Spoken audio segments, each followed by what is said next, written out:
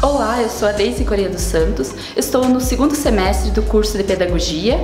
O que me fez vir estudar aqui é o excelente quadro de professores e por ser uma instituição séria. Eu indico a CETREM por oportunizar experiências únicas durante o curso. Inscreva-se no vestibular e venha para a Pedagogia da CETREM.